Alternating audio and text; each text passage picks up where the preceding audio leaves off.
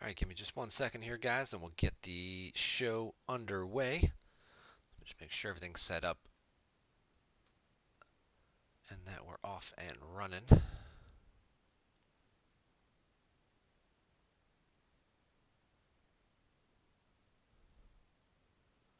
Check out our live stream. For some reason, my laptop is getting a lot of latency right now which is I watch the stream on so I can see the comments because I don't like doing it at the same time. Let's turn the mic volume up a little bit too.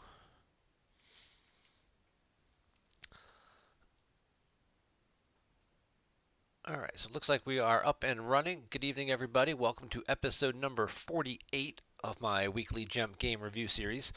I am your host, Chris Gogolen, back as always. Uh, just to fresh off the Match Play Championships, which just ended uh, a couple days ago in New Brunswick, New Jersey. Great event. Uh, thank you again to all 47 players that were able to attend. Uh, unfortunately, we had three people who had to drop out from the tournament and uh, came up a little short of our goal. And hope to have more next year, and we'll look certainly start looking at potential dates for that in in 2020. But Hey, knock it off. Sorry. Cat's being uh, very curious, trying to basically get through the blinds out and out the window. But uh, yeah, so, and uh, we're just a few minutes away here from the end of the April OCS month. Uh, like we said, the server time, you can't quite see the clock because my head's in the way. The server clock there is set to uh, GMT, so it's four hours ahead right now because they don't do daylight savings time from where I am in the East Coast. Um, so it's about 11:30 there. So at uh, in about 27 minutes, that'll kick us over into May, and then the May OCS will begin. So let's take a quick peek at the April standings. Doesn't look like any of this is going to change. You're going to have Silver Glen with this perfect 12 and 0. Congrats, Justin, on a outstanding month.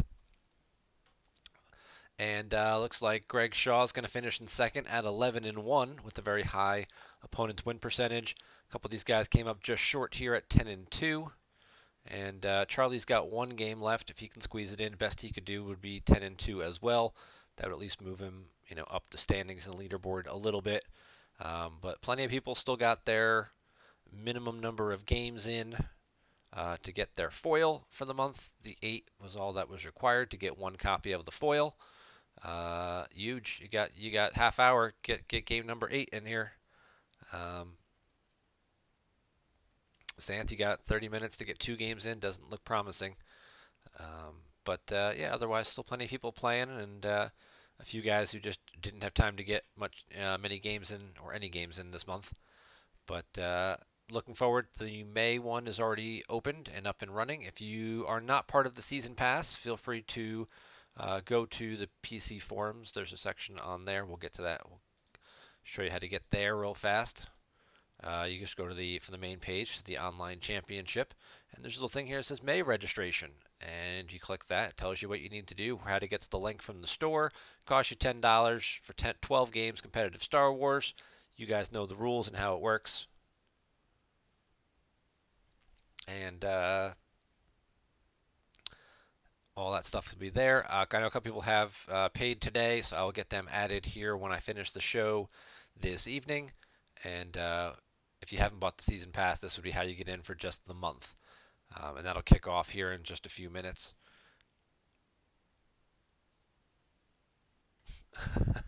Too busy playing Arena this month.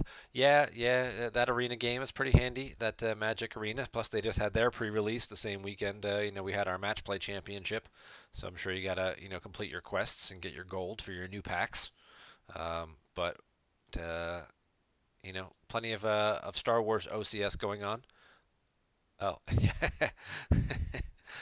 Thank you. Uh, I I, have to say, you know, it's been two days, and uh, I'm still not tired of hearing that, Dan. So uh, thank you for, for mentioning that as well. One of the other things, uh, for those of you not uh, watching, uh, who missed some of the live stream at the Match Play Championship, we're just going to enlarge this a little bit. If you can see over my left shoulder here, there's this very large trophy sitting on my bookshelf behind me, which I'm going to reach behind and grab so you guys can get a closer look at this.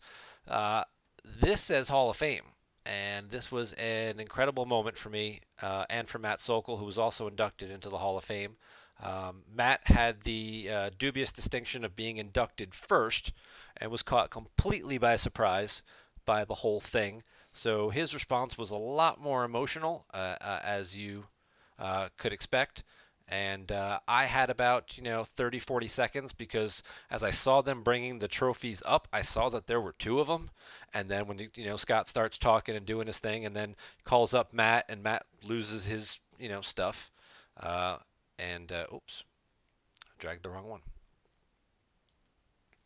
And, uh, you know, starts losing it. He, uh, you know, then gives his little speech. And I kind of had this feeling that the second one was going to be for me. I don't know, just this gut feeling that I had. So I started trying to compose myself and pull it and rein it in a little bit, and uh, and that's where uh, you know my my presentation came across as a little bit more composed. I still look like crap because I wasn't expecting it at all.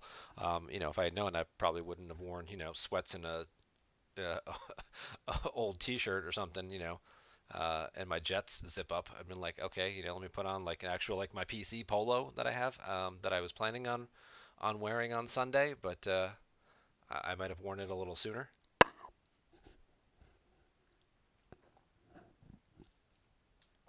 But that was a tremendous honor and a tremendous achievement, and uh, very grateful to the community um, and for all the advocates and everything like that for uh, you know, bestowing upon me that honor. And uh, I, you know, I've been been talking about it for two days, and uh, yeah, still, it's it's still a great and amazing thing. You know, uh, a couple people asked me to sign cards for them uh, on Sunday after the event, and uh, I had to slap that HOF after my signature because.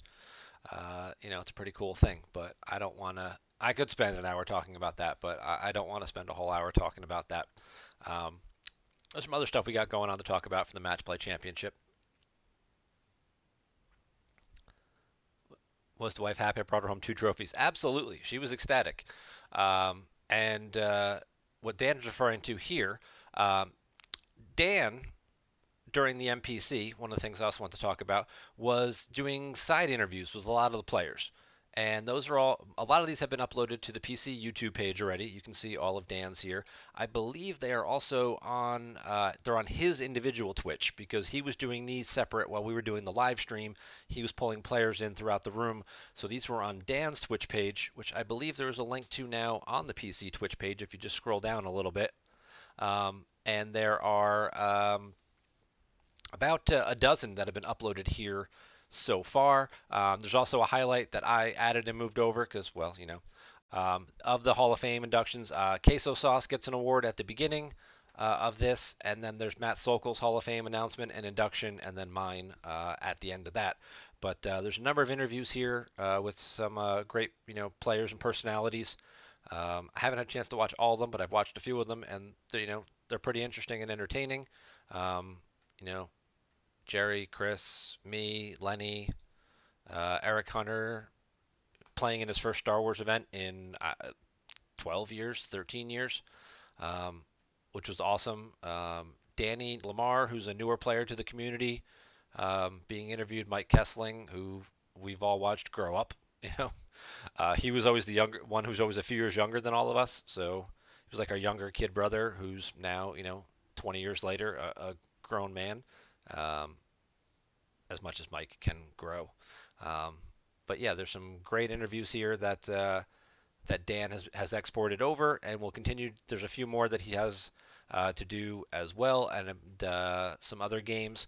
Dan was also streaming the consolation event bracket, the final four of that, because um, you can't stream simultaneously from two different sources um, on Twitch. So we had uh, the PC page was streaming the main event, and uh, we had a separate camera set up that was streaming some of the con- the consolation event bracket, and that was going directly to Dan's uh, Twitch page. Thank you again, Dan, very much for flying out strictly all the way from California, 3,000 miles across the country. Didn't play a game of Star Wars all weekend. Was doing. Uh, well, maybe you might have played after hours, but uh, you know, was there just on a volunteer capacity, uh, doing all the interviews and a lot of the the, the other streaming and stuff like that. And uh, we very much appreciate that, Dan. And thank you for coming out for that. So, um, so what Dan asked me in chat was, was my wife happy? Because every time I go to a Star Wars tournament, my my wife always says, you know, hey, I love you, have a great time, and bring me home a trophy. Um, and that is always the plan. And uh, you know, if you in uh, you know, I've got two interviews here. Uh, the second one, the one he hasn't uploaded, he does ask me that question, and I do explain that a little more. But uh, yeah, uh, she was very happy and thrilled with that trophy. Uh, and then I did pick up another one along the way for making the final four of the MPC as well, which was ultimately won by this guy, Chris Kelly, right there. Uh, and there's his interview, which happened, I believe this is earlier in the day. Um, this is like between like rounds two and three. Um, and then there's probably a second interview with Chris because I think Dan went back and interviewed the final four again at like the end of the night.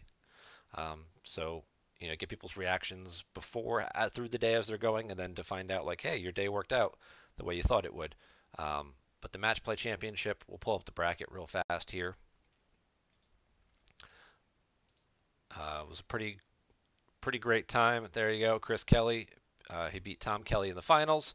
Uh, Brian Fred was the other finalist, along with myself. Uh, certainly some interesting upsets along the way. Um, we had a couple of two seeds go out kind of early and shake things up a little bit. Um, you know, Bill Kafer made a nice little run from the seven seed, picking up one of those upsets. Uh, the other one was Jan, who picked up, uh, you know, he he held ground here and then picked up an upset over Steve uh, and made a nice little move there and uh, narrowly won our game, if not for sure. Some some bad luck on his part. Uh, he certainly probably uh, could have pulled out at least one of those games. Um, in the particular matchup I'm referring to, it was his Black Sun. I was playing EBO. His first turn, he activates six force. He goes to use the Black Sun sites text to deploy a Black Sun agent because he wants to go get Vigo so he can get his other locations out. And the only agent in his in his reserve deck was Guri. So he had to spend all six of his force to deploy Guri because she was a legal target, which means he didn't get any of his sites. He missed, he used his once per game pull, and he also couldn't pay the two force with shadows to get the 2-0 site, so he was then activation gained no activation on his first turn, and uh, that let me kind of springboard ahead of him, and he uh, was not able to catch up from that. So that uh, was a very rough start uh, for Jan, and you know if he doesn't miss that pole, obviously that game goes uh, incredibly uh, different.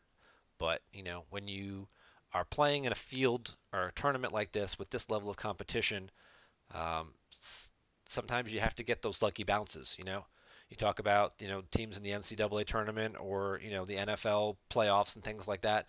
You just need that one magical little thing, you know, the deflected pass or that shot that you know just gets over the guy's outstretched hand or whatever it happens to be, or you know it bounces off the rim and hits the backboard and then kisses back in to make that last second shot. Um, you just need those little things to go your way in order to uh, make it sometimes uh, for, for us mere mortals. Um, you know, uh, that, that's kind of the things that you need to happen. So, uh, congrats again to Chris Kelly on winning this event, picking up some Player of the Year points, and we'll see uh, if Chris continues to build on that this summer. Uh, upcoming other major events. Uh, if you're in North America, you've got one left this year. That's North American Continentals, also known as the John Anderson Memorial Tournament, Minneapolis, Minnesota, late August. Start booking your travel plans for that now. Flights are still pretty cheap to Minnesota. Um, or maybe may even be within driving distance if you're out in the Midwest. Um, if you like international travel, there's two events left, uh, both of them in Europe. You've got the European Championship coming up at the end of July, right around, uh, I think that's Bastille Day, which would be a French holiday. Uh, but that'll be in the Netherlands. So if you flew into Paris or worked your way back through there, you could work something out there.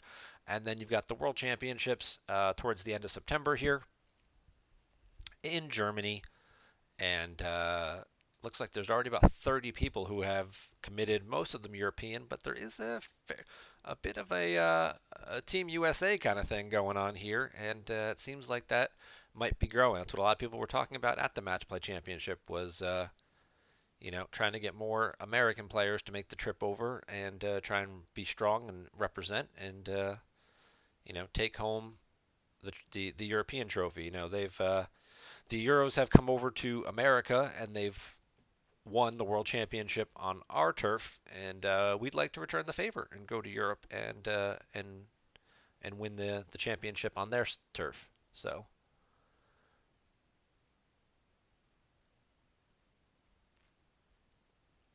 Mm-hmm.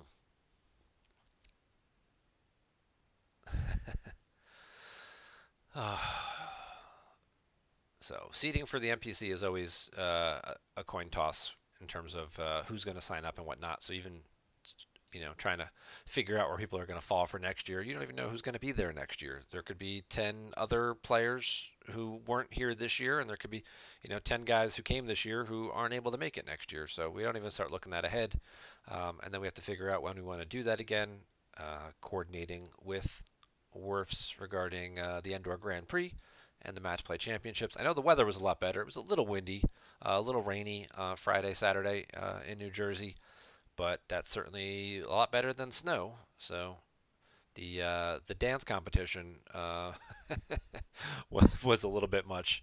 Um, for those of you not at the event, there were I don't know a couple hundred uh, girls between 8 and 14 in various groups doing dance competitions and it was like like you know, popping and locking and that kind of dance. It wasn't like, you know, ballet or, you know, those types of classes or, you know, a cheerleading competition or something. It was, uh, you know, rhythmic dancing. I don't know what you call it.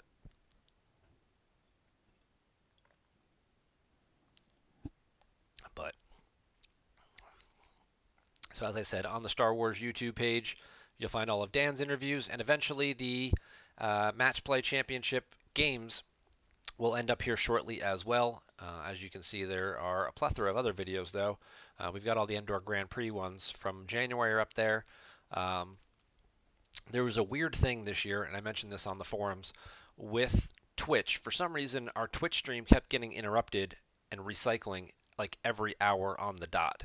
So in the match play format, games take an hour, and up to an hour and 15 minutes and then there's usually some dead time in between games and things like that. So almost every hour file contains halves of different games. So now we have to do a little work to stitch them together and export them over to uh, the YouTube page. That's just going to take a little longer. It's not just a straight, uh, quick export the way it normally is um, from from Twitch. So appreciate you guys bearing with us. Um, we'll get that over there in a couple days. Um, probably throughout the week, by the weekend, I should have all that, uh, at least some of that work done, and start getting some of those games over. And um, Dan's going to continue to export the uh, consolation games as well. So there'll be plenty of content for you guys to watch on the PC's YouTube page. Uh, up to 471 subscribers now, which is awesome. Um, keep them coming. Tell your friends.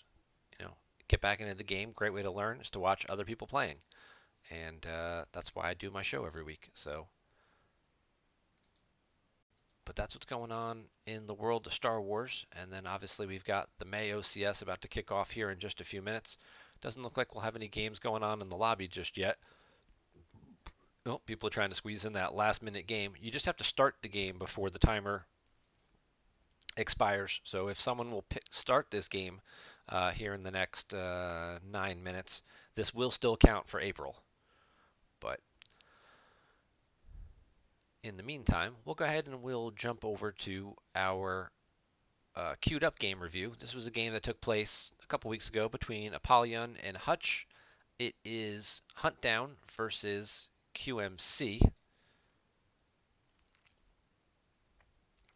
Uh, we don't uh, see a whole lot of QMC. It's uh, it's one of those decks that puts a lot of uh, a decent amount of cards on the table. It has some very good mechanics with uh, with keeping your eyes out uh, or keeping the Empire out forever, and uh, and Beldon's Eye, uh, two great virtual. Oh, this isn't a virtual card, but uh, two great mechanics that really uh, help the the deck get the fuel that it needs. I'll highlight these. Beldon's Eye. independent starships are harder to hit. Who cares? Quiet Mining Colony on table. Simultaneously deploy Unique Starfighter and Matching Pilot for minus one force each from your hand and or reserve deck. So both the ship and the pilot are both minus one, so minus two total, and you don't even have to match them up. They could both be in your reserve deck. They could both be in your hand, uh, or one of each. And uh, you can go find the matching piece of it. As long as it's not in your force pile, you're fine. Uh, most people usually use this with Harc Seff and the Overseer, which is pretty solid power and uh, goes down nice and cheap. And then they'll play some other cheap guys on Cloud City to do the quick flip because keeping your eyes out for or keeping Empire out for I keep want to keep your eyes open, which is the uh, other virtual card. But this one just requires you to control two Cloud City sites and occupy the system, and then you flip your objective, and then it can't flip back. Um, so you're stuck on, so you're on the seven side for the rest of the game, and QMC has some pretty good benefits on the seven side. It does lose the ability to pull its sites other than the docking bay. Now you can still, you know, you uh, once per turn search your force pile, take any one card into hand, so you can get your sites out that way if you have to. But you kind of want to try and pull at least one or two, at least two or three of those sites rather, um, before you flip so you don't have a couple, so you don't have a bunch of zeros floating around in your deck. Typically, QMC decks will run 20 to 22 characters, so your Destiny is already poor enough as it is, drawing a lot of those. I mean, some of, they're aliens and things, so usually they have better Destiny numbers, uh, threes, a couple of fours, but um, yeah, I think Charlie did play QMC. So QMC was a deck that was in the top eight uh, of the Match Play Championship. And uh, yeah, there were quite a variety of decks played. Um, you know, you had Old Allies, you had uh, EBO, you had Ralops, um, there was a Hitco, there's always a Hitco, uh, or a Throne Room, and uh, you know, um, map was pretty big, uh, which decks that you know you would expect to see decks that we featured here on uh, on previous shows. Um, I think even an ISB. I think is what Brian Fred was using was ISB. So uh, there was a good variety and a good way to make it. And uh, you know, me personally, I played EBO and Map, two strong decks that don't have a lot of expensive cards. You know, one of the things we see on the forums is people talking about, you know, the barrier to entry, like, oh, I want to get into the game, but I don't want to buy five Jedi Lukes at 100 bucks a piece. You don't need to. You know, a, lot of decks like old allies, like Map, like EBO, like even ISB, they don't use a lot of the expensive versions of, of main characters. Now, a deck like Huntdown definitely does. A deck like QMC, not very expensive. Uh, you know, looking at his opening hand here, okay, Rebel Leadership, that's like a $14 card. Uh, you might need two or three copies of that, but it's not a $100 Jedi Luke. Um, you know, Leia's like six or seven bucks. Raddus goes over a common. Mirax is two bucks. This is a 50 cent common. Um, some of this other stuff here, you know, Wokling's like a, I mean, Wokling goes in every, a lot of light side decks. I won't say every light side deck, but uh, Wokling's one of those staple cards that you buy one of and you just move it from your deck because it's you're never going to have it floating in the deck. Usually, it's you're going to start it almost every game. So. And Salucci played Set Your Course. Yeah, see? So there were a variety of decks. Uh, deck diversity right now is probably at its all-time high. And I'm sure when the deck lists get posted and we go through and count and do all the numbers, you know, 50 people playing in this tournament, normally, you know, you'd see at least one there's always that one clear deck that people think is the best that there's probably 10 or 12 copies of you know if you go back and look at worlds last year 20 to 25% of the field was playing Agents of the Black Sun because it was by far the best dark side deck in the tournament. Uh, and to counter that, uh, 20 to 25% of the field was playing either Throne Room or Hitco because um, it was determined that light side mains had a pretty good shot at beating Black Sun, especially if you played, you know, if you matched them with, you know, four or five senses of your own. Um, typically, Throne Room fared better with the ability to go first um, and kind of put the pressure on them a little bit but you know it was a very you know dominant field and deck diversity wasn't quite as high. I'm sure when you look at the numbers from the match play championship, that's going to be a lot different. Uh, the Endor Grand Prix, other than like I think one deck, there were 25 people there at the tournament. There was like one deck that had like four people playing it, and then I think everything else was like one or two of. And there were like 12 different decks that were all represented. So Um, I think we're going to see those kind of similar numbers from the Match Play Championship. Um, so it's a great time to get into the game or get back into the game uh, if you've taken a little break off, you know, from it, and uh, you don't need to jump in and buy all the expensive cards right away to uh, to still be competitive.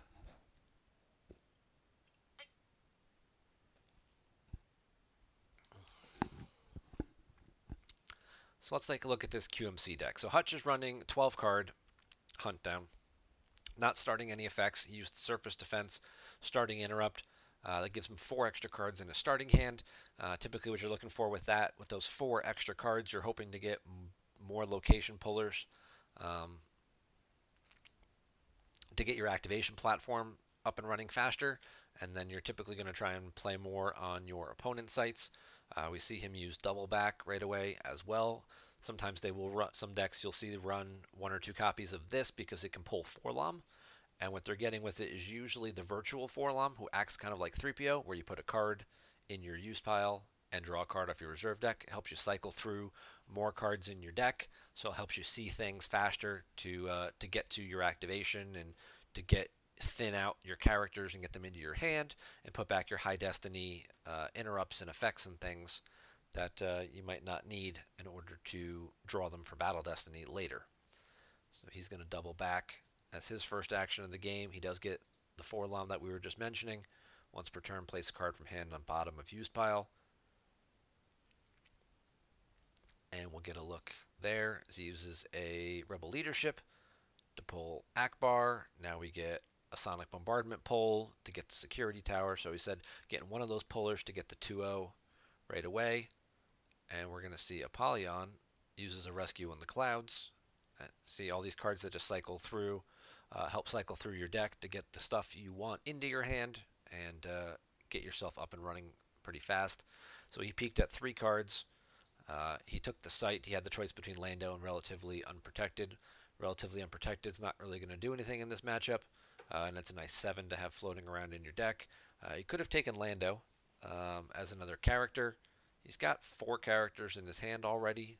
Um, if he wants to flip faster, which is certainly a valid uh, thing to do, taking the site is the right move because then he can pull one with the objective and then he's got one in hand already so like if he gets the the 1-0 and then he's got this site and he has the docking bay if he needs it as well already in hand, uh, he could easily flip and then there should only be one other site floating around in the deck.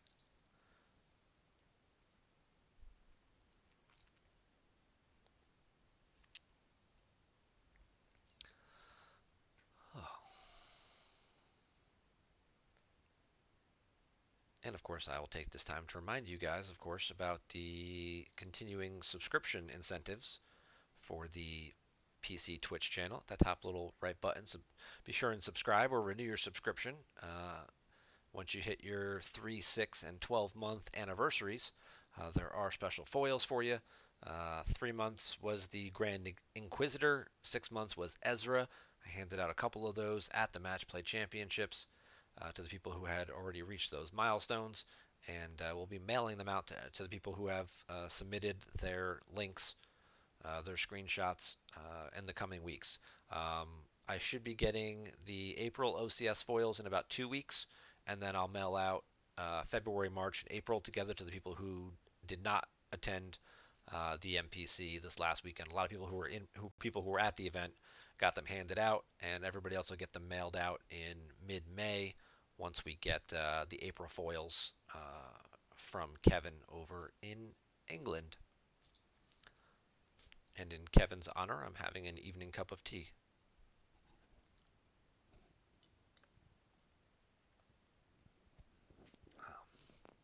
So Hunt Down's going to do Hunt Down things.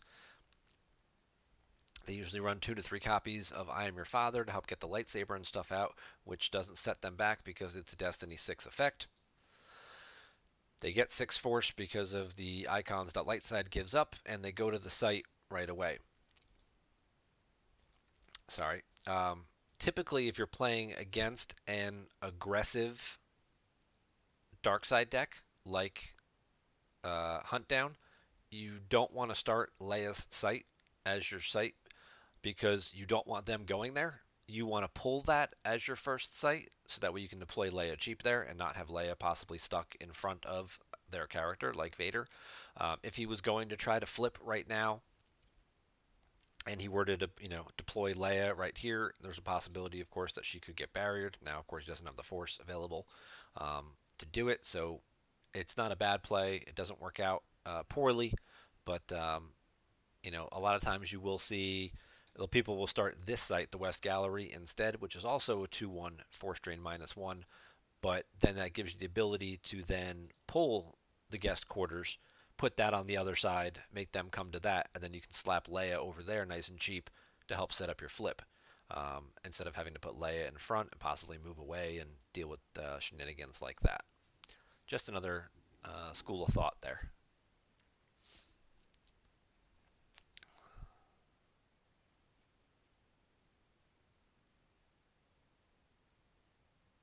Docking bay to the outside. He's going to match Damn, trying to catch that. Uh, if you have the cards in your hand, it will show them along the top, so it looks weird. I think I've shown that in previous shows. Um, Harc Seff, Overseer. This is also another benefit um, to the quick flip. If a Dark Jedi or Sith was just deployed to a related site, may deploy from reserve deck a related location.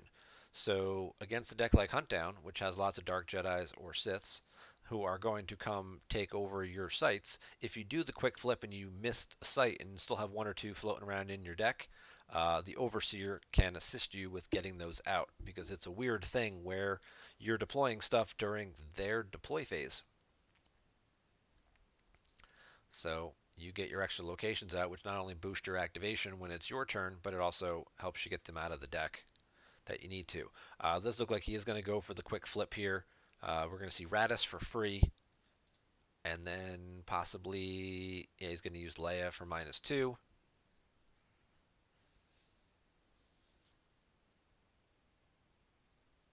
That'll set up the flip.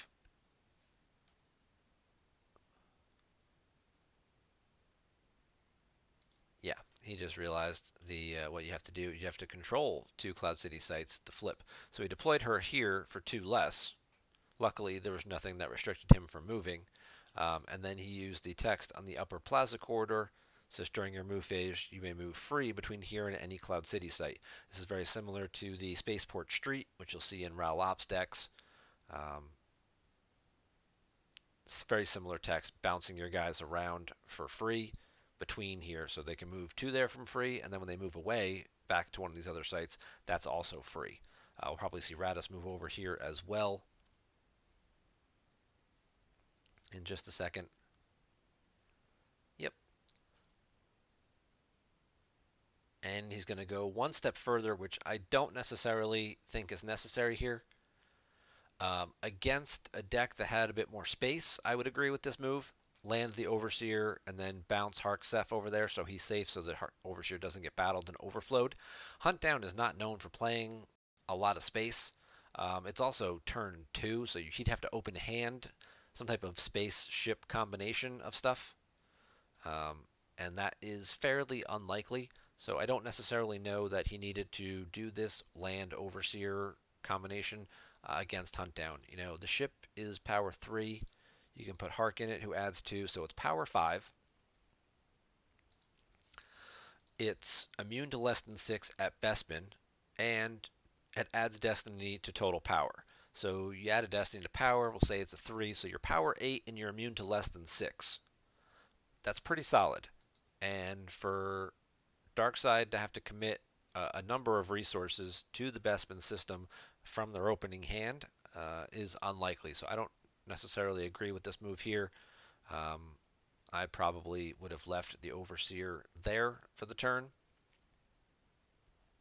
especially because if you control opponents' characters and vehicles, deploy plus one to Cloud City locations, making them pay plus one force for each guy when they want to come take over your sites uh, is also a great benefit. And like I said before, it helps you pull out the other site as well.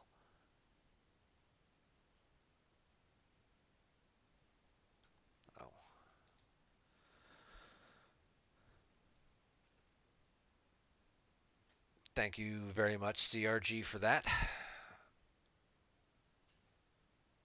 Yeah, the uh, the outpouring from people has been pretty spectacular. So it's a pretty special moment, and uh, thank you guys for sharing it, sharing it with me. Oh, so now we got Crush.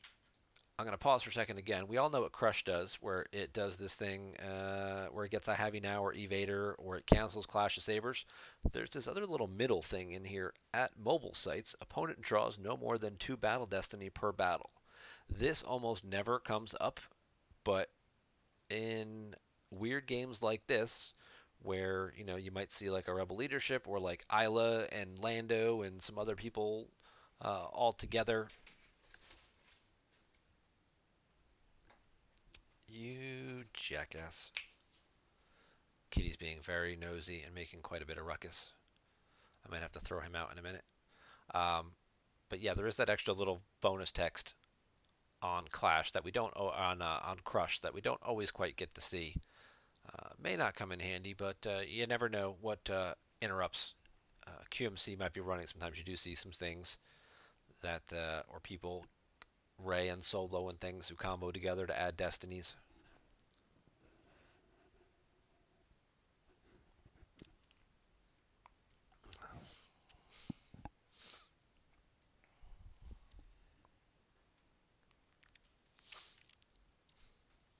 Oh.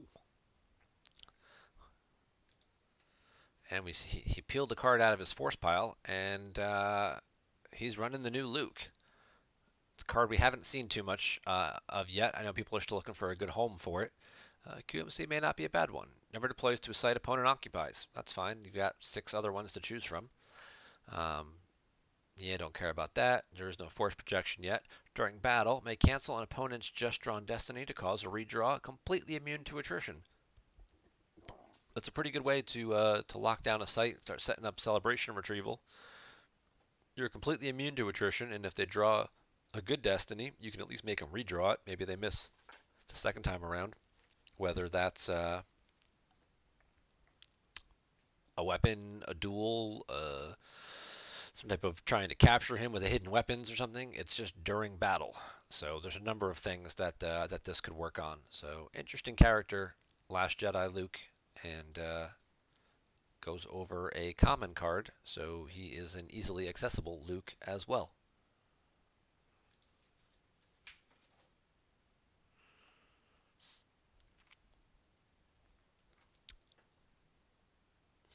Of course, one of the downsides of Luke is I have you now. Because I have you now just says, oh, haha, I have you now. It also doesn't work against this Luke, does it now? Because I have you now says if Dark Jedi and a rebel of ability greater than 2 are involved in same battle, add a destiny. Add 2 if rebel is Luke. Last Jedi Luke isn't a rebel. He's just a Jedi Master. So I have you now doesn't work against him. At least it shouldn't. Maybe we'll get to see how this plays out, but uh, yeah, the conventional thinking of, hey, I just pull I have you now, and uh, Vader goes and beats up on Luke, is not how that goes.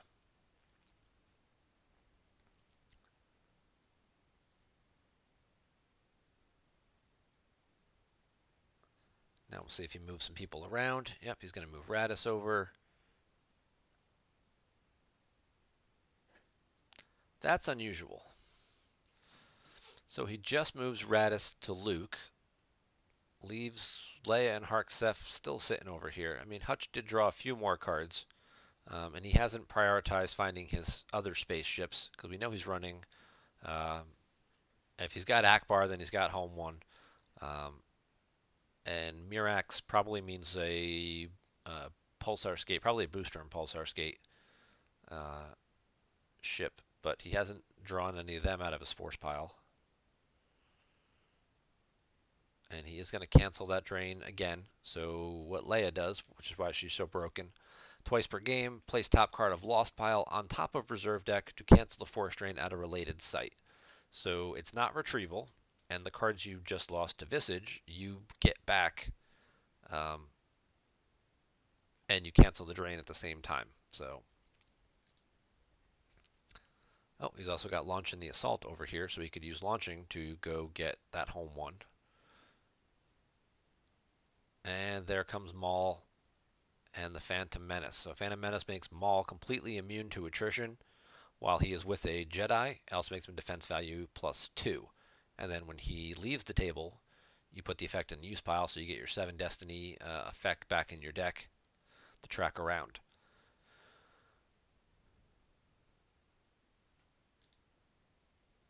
And the card I kept talking about earlier, Keep Your Eyes Open, is going to come into play here. This is the one that prevents battle just initiated, lose a force to prevent all weapons from being fired for remainder of battle. So no weapons can be used, so it's just going to be Destiny. Now, Phantom Menace makes him completely immune to attrition, but we see him draw a 5 there, which is pretty solid, and he is going to use the loop text, which is a good move to try and redraw that. You're hoping he's going to draw lower than 5. Bam! He draws a site. That's exactly how that's supposed to work out, right? So now your opponent draws a 0. You don't have to lose anything. All right, you only draw a 1, so they're just going to peel a card uh, to keep Maul around. But you don't have to lose anybody. You get to keep Raddus, which you never know, might come in handy later. And Hutch is going to lose that site, so he doesn't end up drawing it again, because he certainly isn't going to need it.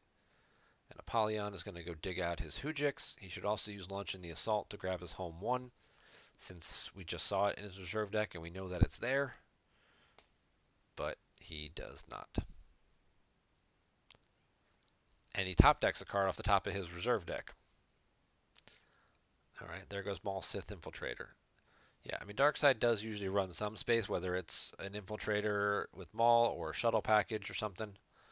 But See, and this this all goes back to what I was saying earlier. By not having Harc Seff here, he now has to use his force pile pulls to get his sites out of his deck. If Harc Seff was there when he deployed Maul, Maul could have pulled, uh, the Overseer would have let him pull this site, which he then could have stuck over here.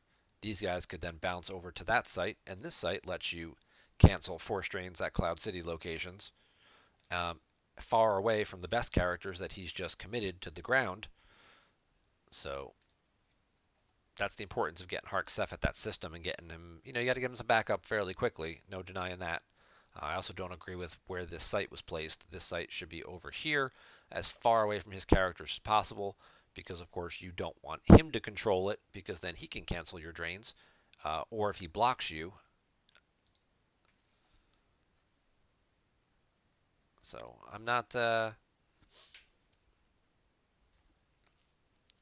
There's a few things so far that I would have done differently. I'm not the best QMC player in the world, uh, far from it. It's not a deck I enjoy playing because it tends to just avoid your opponent as much as possible. And, uh, you know, um, if I'm going to fight, uh, I'd like to just, let's fight, let's get it over with. Um, I don't want to run away from you for, you know, 15 minutes until you just get tired of chasing me. Um, I mean, yes, there is some strategy involved in that, and of course, you know, it doesn't matter how you win the fight as long as you win, right? But uh, I don't know. This just QMC's always been a deck that just feels a little boring to me. It's like you don't interact with them; you just keep moving away from them, and they just keep deploying and deploying and deploying until finally they tire themselves out, you know, and then you just push them over and they fall out and lose.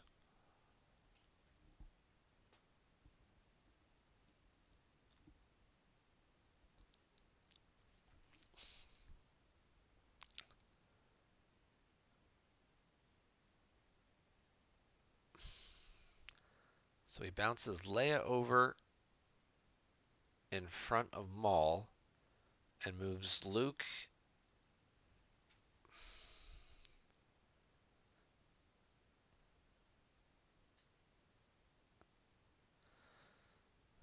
and Raddus away.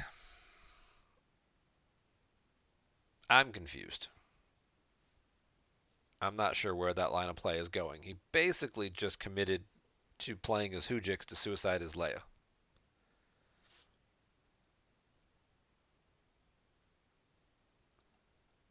I'm not sure what he was thinking there. If he was thinking that he was just going to Houjix it and use her to block a drain of one, or if he was thinking that, um, you know, Leia says unless a non-alien character present, that their total ability at the same site is zero, thinking perhaps Maul was an alien, or maybe misread what she said.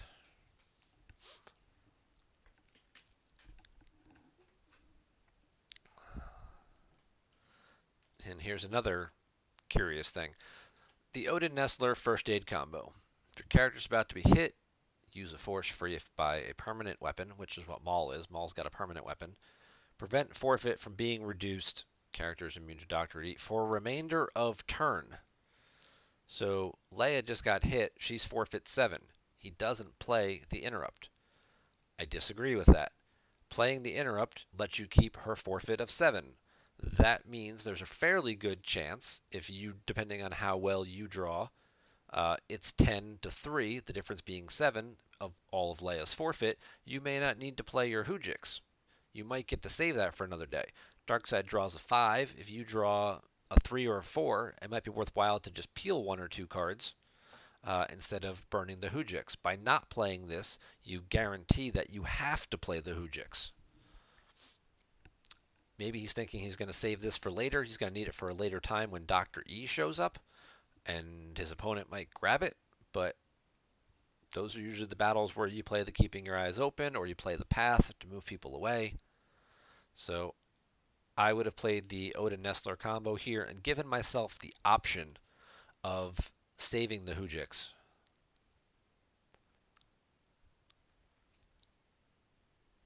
He draws Ray again. So if he had played it, he'd be peeling four cards. You don't know you're going to draw Ray. I mean, you could draw better than that. But to be honest, Leia shouldn't have been there to begin with.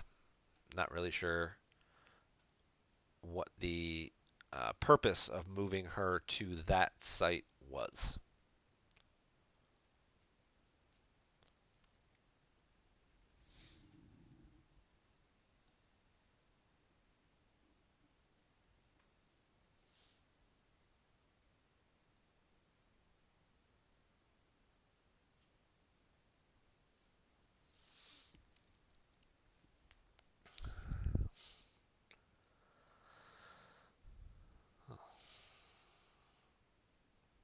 Dark Side doesn't mind losing Maul. Dark Side actually wants to lose Maul because then they can redeploy him in battle again.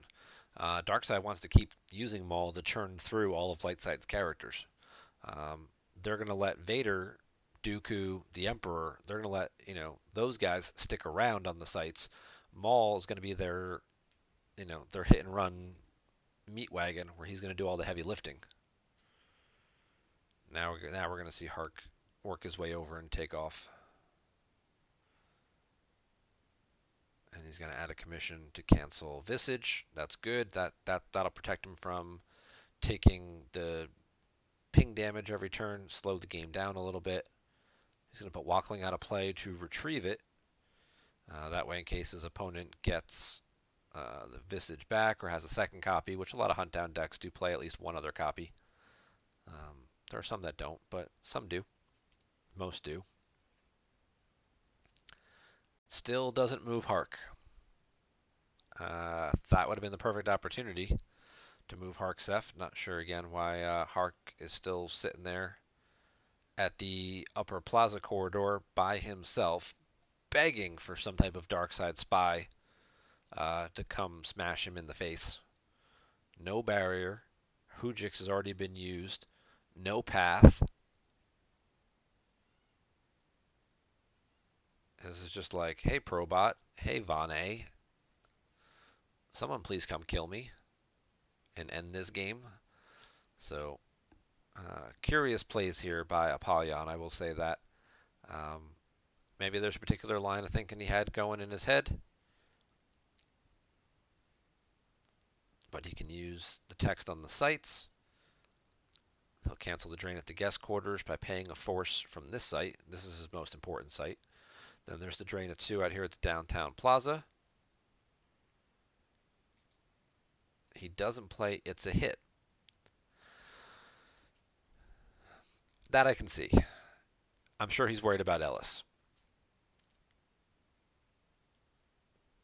I'm sure that's what he's thinking, is that he's worried about Elis Helrot moving one of these guys over to Harc Seff's site. So he's saving the It's a hit under the fear of Elis, because this type of 12 card throne room could easily play one copy or two copies of Elis Helrot, because not every light side, uh, more and more light sides uh, are not playing the Insurrection Aim High combo. It's really just like uh, the throne room type mains.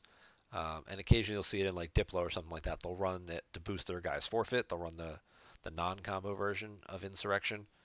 Um, but there's a, a, lot of the more popular light decks right now uh, are not starting that. So Huntdown could easily be running in Elis. So saving this for that, that I can understand. That makes a little bit of sense.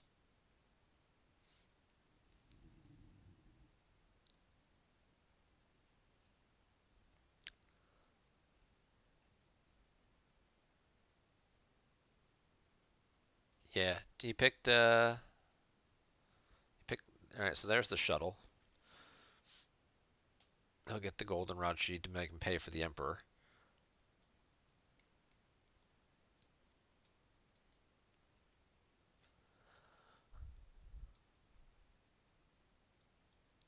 This would be another benefit of having Harc Seff in space. if Hark was in space right now, he would have take Ray, thank God, stop drawing her for Destiny.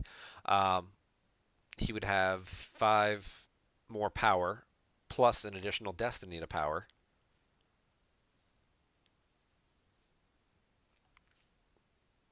Oh, he's not going to battle. He's going to just land the shuttle and get the Emperor out. Cheaper way of deploying the Emperor for free, I guess.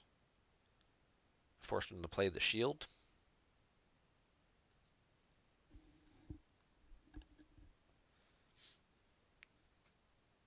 Maybe he was trying to bait something out of his hand, or you know, because I mean the shuttle cost three. Looks like they're going to try and do a revert. Yeah, the shuttle costs three. The Emperor would have been free, but the Goldenrod Sheet makes him cost two, so the Emperor still ended up costing five.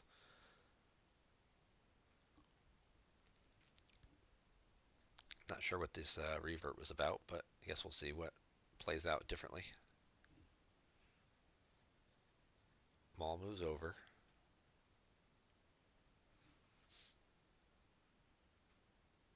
Vader moves over.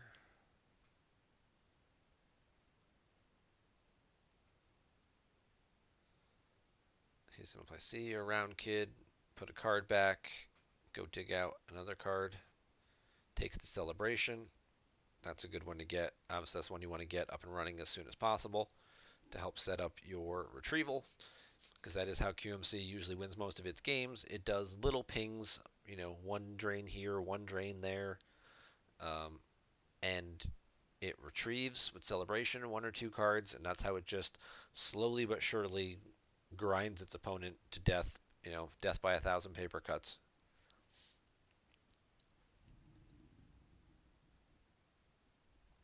So that's what we got going on here.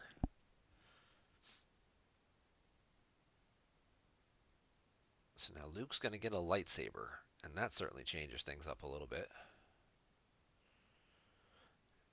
And we're going to get Lando as well.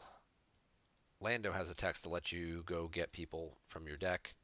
So we'll let you get Lobot or somebody else if you didn't have them.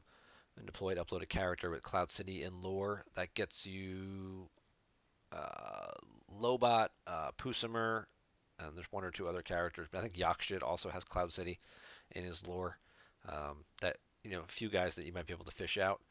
Uh, but this is the important part of Lando. During battle, use a force to cancel game text of a Dark Jedi, except Vader, Dorsh, um, at same site. So cancel EPP Maul's game text, and suddenly EPP Maul no longer has a weapon. Just well, he has a weapon, but he just doesn't have the ability to swing his weapon. Um, so he can't swing at any of your guys. You can swing at him. Uh, Isla over here says when she's with two of your aliens, she adds a destiny. Um, so now we're already up to two battle destiny here. Still don't. Uh, Raddus is there, so that would give him an extra rebel to play the I Have You Now off of. But uh, still down a significantly uh, large amount of power here. And I would expect him to also play Ray this turn, probably to one of these sites, so then he can slap Celebration on the system.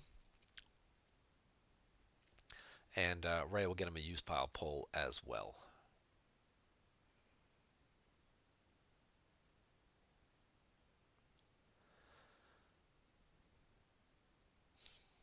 He's going to deploy Kenobi instead. Okay, still not bad. He's still uh, a solid character. Good game text. And here comes our battle. First action should always be Lando here to cancel. Don't get excited and swing your weapon because then that would give him the opportunity to swing back. There's the Destiny adder. So he adds one because Raddus is there. He only has two Destiny left though, so he can't swing. He overactivated, didn't leave himself enough if he was going to do all this. That's another misplay. Uh, if he had left himself a couple more cards, that might have hit Maul and then draw two Battle Destiny on top of it.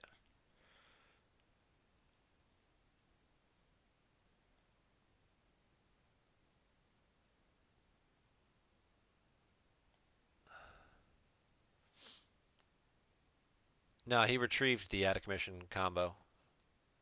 He put Wokling out of play to get that back. Uh, Marines.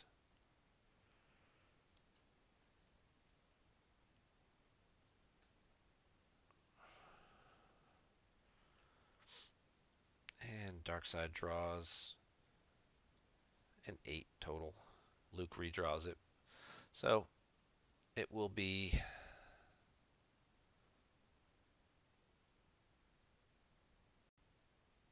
Maul and three cards.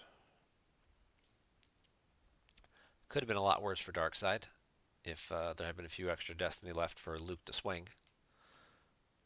Harder to hit, granted, with the Phantom Menace out.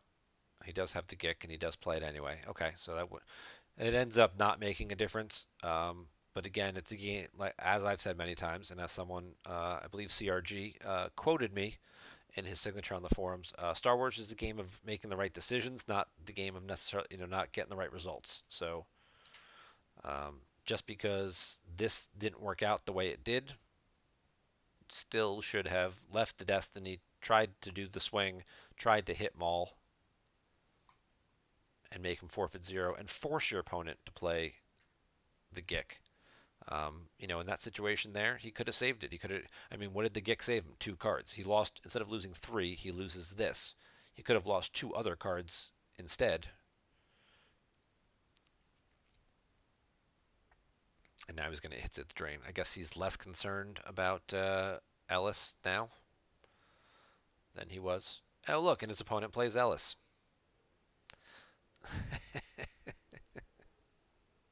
It's like you didn't play the It's a Hit last turn, presumably to save it for Elis, and then you're like, nah, I guess he's not playing Elis.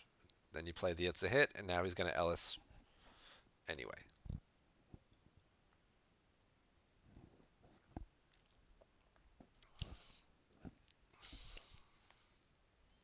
Know, there's times when you get locked into a particular strategy that you're thinking to yourself, I should have abandoned it sooner. And then there are times when you abandon it. Uh, you know, you had the you had the right course, you just didn't hold steady.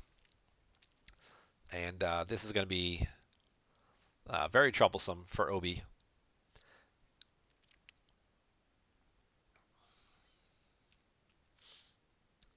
Because he's already hit. He's going to have to lose a force. Obi's going to die. Talk about overkill.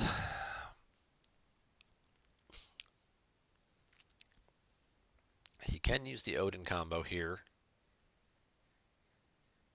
to prevent his forfeit from being reduced, so that'll help a little bit. But Tarkin's going to add a Battle Destiny here. And Dark Side still makes them lose a force for the I am your father. He's going to throw away Jin. Of all the cards he could lose, I would think Jin would be the one he would want to keep.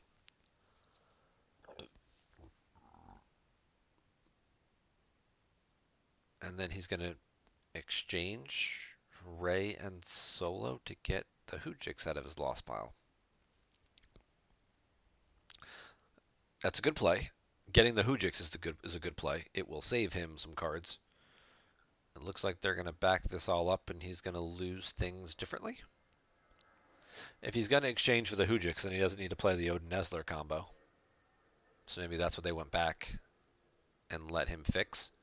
So if that's his line that he's playing here, then uh, yeah, that's just uh, overkill doing both.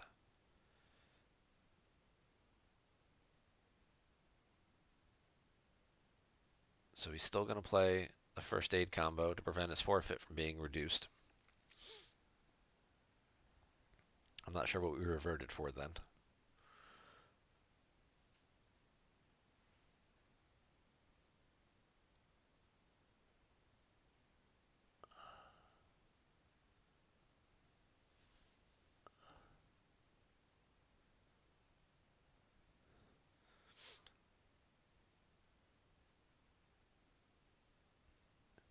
So he adds a Destiny, and now he decides he's not going to swap for the Houjix.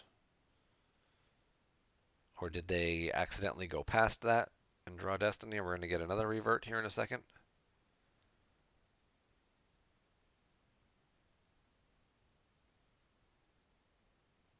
Or is he just going to peel nine cards? Oh, because Obi's forfeit isn't reduced.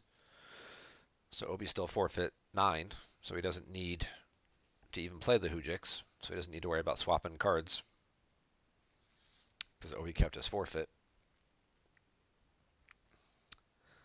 So I guess that's what we did. He undid the swap because he realized he wasn't going to need it, or at least calculated he wouldn't need it. I wouldn't have swapped Solo and Ray and kept Chewie. I would have swapped, at least if I was going to swap, I would have swapped other card, uh, these two and kept Ray. Ray's really good. He takes the Odin combo back.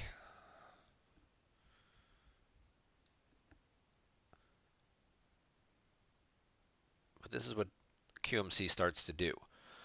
Right now, he's doing a Drain of 1, uh, 2 here, because launching the Assault is on the system, and a Drain of 2 here with these guys at this site. So he's doing 4 damage, and he's retrieving 1 card. His opponent is doing Drains of 2 and 2 that he has to pay for which cost him a total of six force, one of which he can cancel from this site, and a second one which he could also potentially cancel by looping around the it's a hit or whatnot. So this is where QMC starts to get into that mode where it starts shutting down the damage and mitigating it between the one retrieval, the drain site, and all those things. And this is how QMC kind of stabilizes things out and stays alive.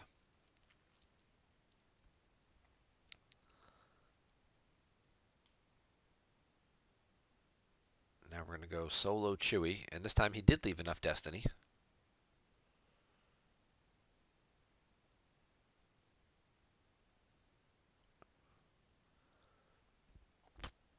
For Chewie to take a shot at the Walker, and then for him to draw two Battle Destiny.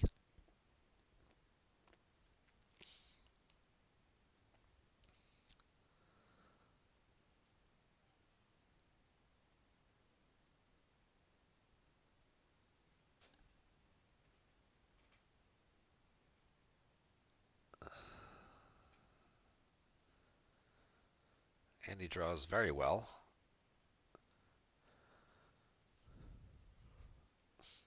Now, also interestingly enough, the QMC objective, it may not come into play, but aliens that uh, in independent starships are immune to attrition less than 4. So, should Dark Side draw something like Yasain Asard, um, you know, one of these guys might live. And he's going to use the Odin combo again, which means that Chewie very likely might live. Uh, actually, Chewie should live. There should be no reason why Chewie uh, dies here.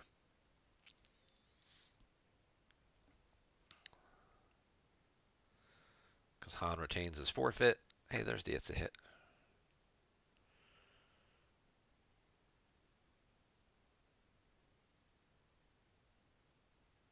So we get a 3 and a 5. That gives them a total of 8. 18. Mara covers 7, so there's, you know, no reason to try and do something like play heading for the medical frigate to add 1 with solo or whatnot. Oh, big 7. Darkside doesn't even lose the battle now.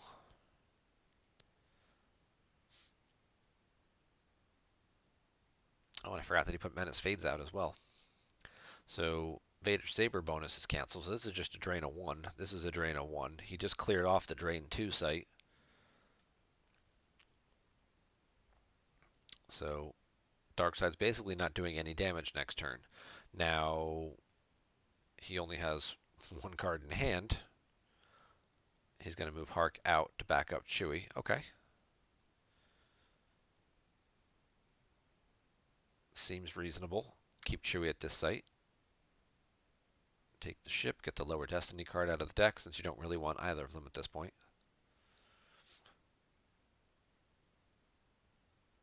And you'll just pay one and cancel that drain. He made him burn the force to cancel the drain, so he wasn't worried about him having possibly having a barrier or anything.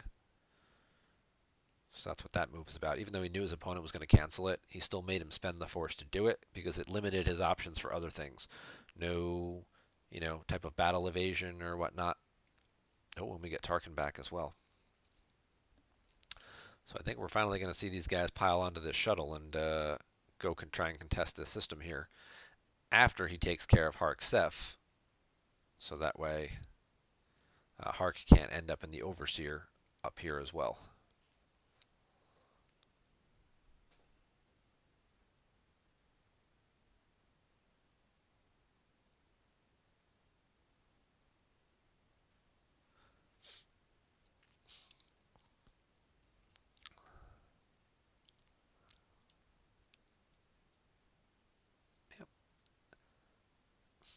Chewie gets mad that Mara hit him with her lightsaber. He'll return the favor because this should be the same. I think it was what five three that he drew last time. That should be the it's a hit, right? Yeah. So she's hit. It's a hit, literally. Um, and now, dark side will have, a light side will have a slight advantage uh, and power, possibly cause a little bit of overflow back. Oh, right. Yeah, sevens. That's of course, right? Track that around. Well done, Hutch. Good job tracking uh, your high destiny clump. It's just a four, so that'll be a tie, so everybody dies. And then I'm sure we'll see everybody pile into the shuttle and they'll take off because taking off from a docking bay or landing at a docking bay is free. So that will cost no force to do it. And then Darkside won't have to pay to drain anymore. Now they're still significantly being outpowered here. Because this shuttle is only four. Even though they, he gets three Battle Destiny, um, it is not a whole lot of power. And should he find, uh, uh should Apollyon find a rebel leadership and limit this to just one destiny, that would be very troublesome. And oh look, there's a rebel. He took Yoda. Yoda does the same. No, Yoda doesn't do the same thing. Yoda does similar things. Because what Yoda says is neither player may draw more than one battle destiny here. So he limits both sides to one destiny. No force saved. It's hunt down. You know he's got a bunch of high destiny there. Uh, are you really worried about a sense or something like that, take the leadership, limit him to one. You can drop the booster and pulsar skate and ray and have like 20 power and still draw your two battle destiny, which you left two force for, to his one, um, and clear most of this off with you know battle damage as opposed to attrition. Um, but he takes Yoda, so either he's not battling in space or Yoda's going to go in space and then he's limiting himself to one at the same time.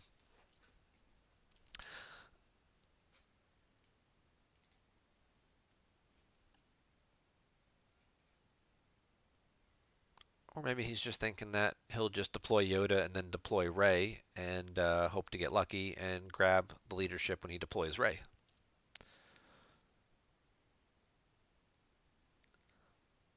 Spend a force for the retrieval. He can throw Yoda out here at this 2-2 site, then play Rey aboard the home one as well. That's not a bad play. Um, He's going to put Yoda in space and limit both of them to one.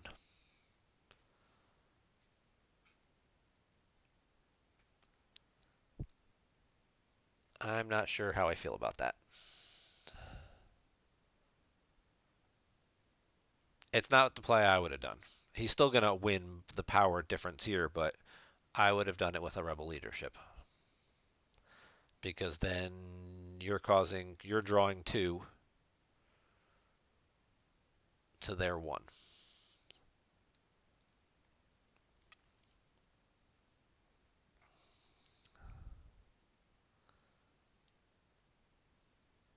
That's going to be a 6 or a 7, right? Yeah. Now, home one's immune to less than 10, so it doesn't have to lose anything.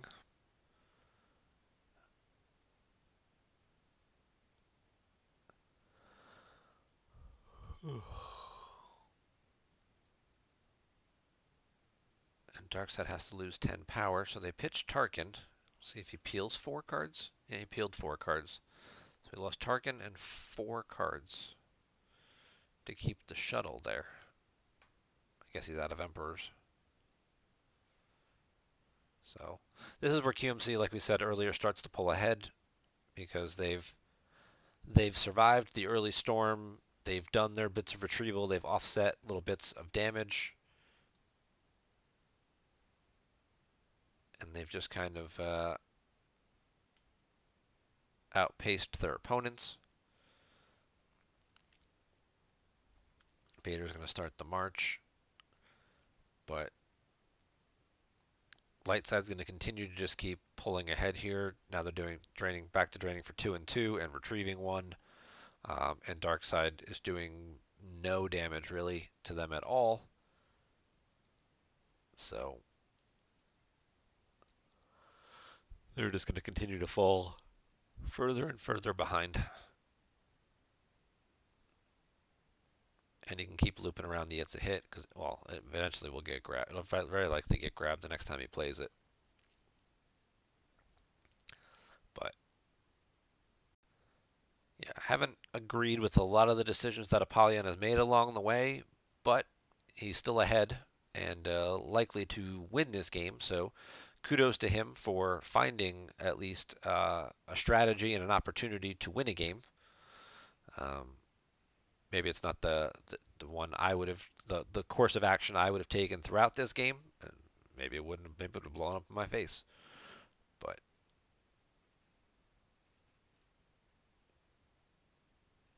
Obi to the docking bay.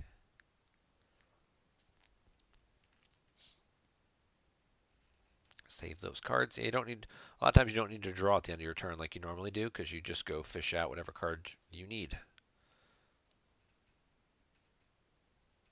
He's going to change what card he pulled. Barrier's a good card. I would have kept. I'd keep the barrier.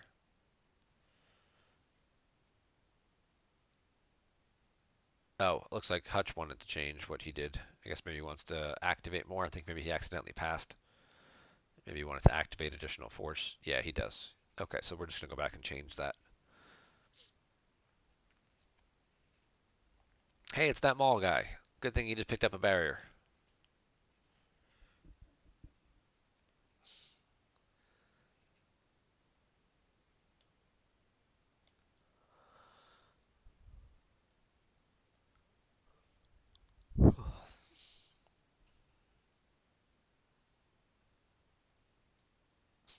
QMC wins favored matchup against Huntdown. yeah, the longer the game goes, the more it tends to favor the QMC deck, I think. Um, you know, when Darkside hits the ground running and really leans on them and forces them into some rough positions, um, that's when it uh, Huntdown will prevail and, and, win those matchups.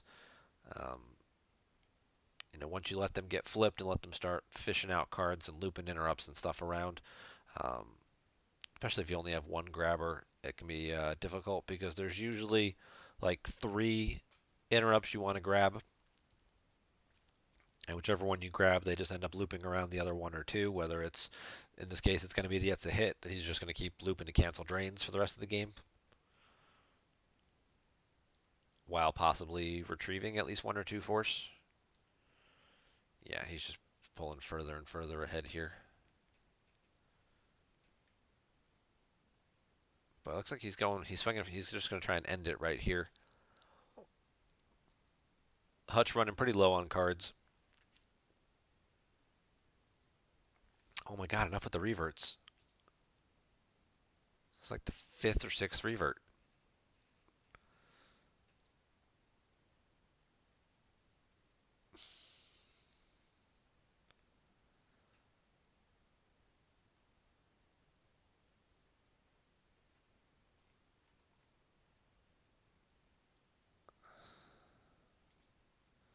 Did we break it?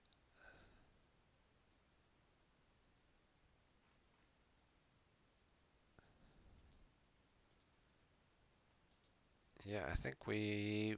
Now, I think their link may have broken. It's the other problem with reverts, is that sometimes the game link gets stuck and breaks during the revert. And uh, you don't get to see the conclusion of the game as a result of that. Well, it's always disappointing when you don't get to see the game finish out the way it's supposed to. But uh, I'm going to go ahead and make a bold prediction here that the QMC deck wins. Uh, Darth Maul probably gets beat up pretty sizably here. I mean, he's uh, outpowered 20 to 7. Because she's power plus 1 for each opponent's character, so she's a 5. So there's a 10, 13, 14, 15, 16 with the Oxjet. Uh, and then if Chewie comes back down like he should, uh, that would be 22. And swing, hit, shoot, hit, something. Make him probably, even if you don't make him forfeit zero, you're still ahead by 15 just in the straight power, and you're getting two destiny to his one. Uh, Maul's going to cover seven, so you're down eight plus the difference between the destiny draws. And Hutch only has 11 cards left total. So this is going to be your game-ending beatdown battle here, uh, which took nine turns for light side to move around and set up and manipulate, which is what QMC does. It's a control deck. It's not an aggro deck. Uh, if you like control decks, QMC is a good one for you to play. If you like aggro decks, QMC will drive you nuts. So that will be our game review for the day. Let's pop back over here looks like people missed out on their games. So uh, April is officially over.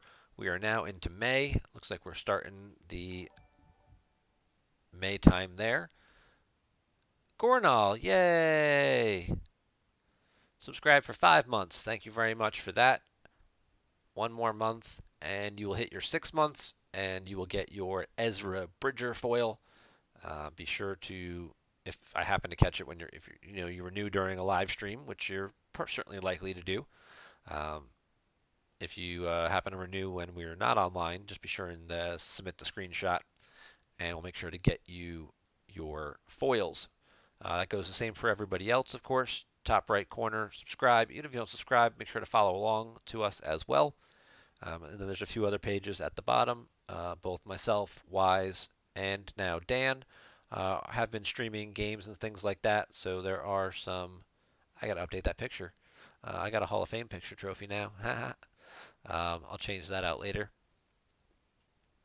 Uh, we do have our own Twitch pages where we do stream uh, live games. Wise has been streaming all of his games for the OCS, uh, 12 games a month. So plenty of good content there for you to follow along with. And uh, and I'll be streaming some OCS games myself now that the MPC is over. Get back to streaming some Star Wars and uh, all that fun stuff. I think that's going to wrap it up for tonight. I've been going about an hour and 20 minutes here. Uh, thank you all very much for uh, joining us in tonight, and uh, we'll see you back here in uh, sometime next week. Again, still off our usual Monday schedules until Game of Thrones ends in three more weeks. And uh, then I'll be back on the regular Monday schedule once that happens. But uh, you guys take care. Have a great night. Thank you again very much for all the uh, love and support for the Hall of Fame thing. Uh, truly, truly a remarkable moment. And uh, can't really put into words what that means to me. So you guys take care, and uh, we'll see you next week.